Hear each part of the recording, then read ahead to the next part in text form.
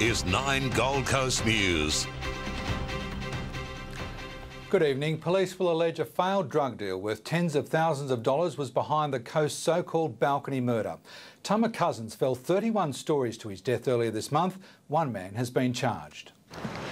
Police claim Christopher Cairns and another man arrived at Tumara Cousins' apartment late at night to buy $21,000 worth of methamphetamines. It's claimed the deal went sour when the pair realised the drugs weren't what they wanted and started arguing. Police documents reveal one of the men hit Cousins across the head with an unknown weapon. He fell to the ground as both men drew their guns. It's understood Tumara then threw the bags of amphetamines over his balcony to the street below.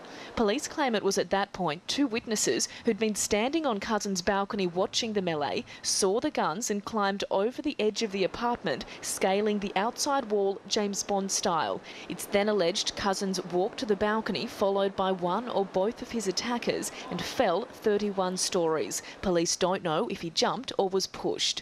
Outside court, the 24-year-old's lawyer said Cairns denies involvement. Vigorously defending the charges, but uh, I'm sorry, that's about all I can say. Can you say how he's doing?